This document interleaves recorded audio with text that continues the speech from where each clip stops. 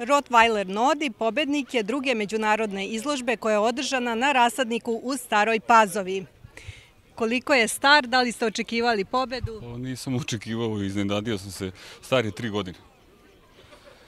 Da li je i ranije učestvovao, da li je pobeđivao? Jeste, pas je inter, internacionalni šampion, šampion Srbije, prvi na klubskoj izložbi za Rottweilere, jedan od boljih Rottweilera ovde.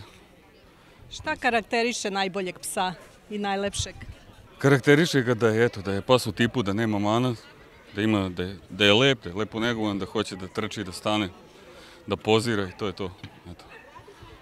Koliko košta uzgoj takvog jednog psa? A to Da je, je skupo? jeste, skupo je. Skupo je, ali ovaj, kada vam donese ovako uspeh i neku, neku, šta znam, zadovoljstvo, sreću, onda je to, ok, to je to. Drugo mesto osvojio je američki stafordski terijer. Dve i po godine star, limited edition Highline Armageddon, znači mužjak, tako da je danas jako smo zadovoljni, znači prvo mesto je fantastičan pas, ne možemo da se poželimo, izložba je fantastično organizovana, znači sve su bili vrhunski psi za taj izbor.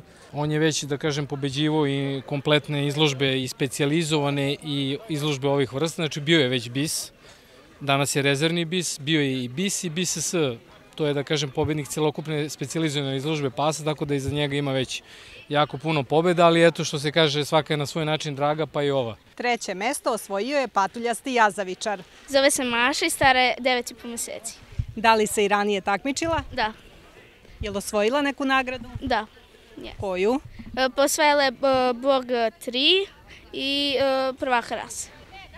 Da li je ti dresiraš, hraniš, Da, ti sve brineš? Da. Je li teško, kako ide, da li te sluša? slušaj, nije teško.